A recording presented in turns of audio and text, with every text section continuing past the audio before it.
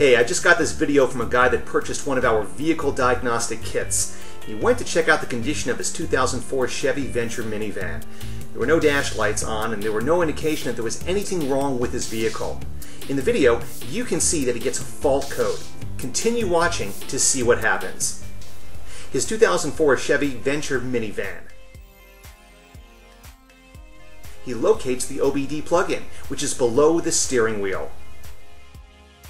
He plugs in the wireless Bluetooth OBD connector, which is included in the Elite kit. He makes sure it is plugged in all the way. He will turn the van's ignition to the on position, and he gets his cell phone. In this case, he is using a Samsung Galaxy Note. He taps the app icon. He then presses the Check Fault Codes icon. And the software begins to check out the van's system. The screen reads, Reading Fault Code Responses.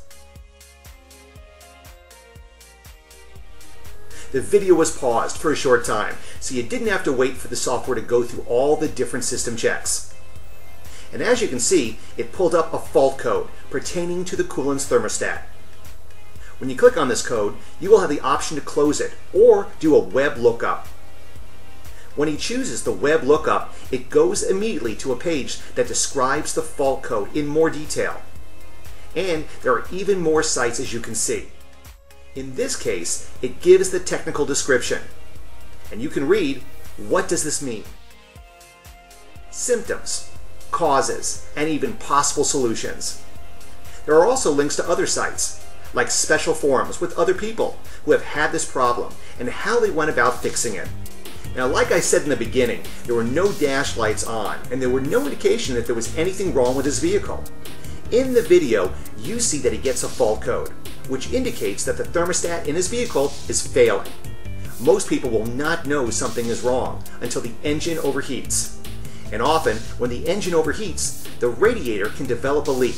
A hose can burst and even cause the engine to seize up, leaving you stranded alongside the road in the middle of nowhere, which can cause a lot of heartaches and expensive repairs. But since this guy ran the test, he can change the thermostat himself or call a mechanic and ask that specific question. How much does it cost to change the thermostat in my vehicle? All this from the comfort of his own home. Now, preventative maintenance saves a lot of money and heartache. So if you don't get this kit for yourself, you should really think about getting it for a friend or loved one.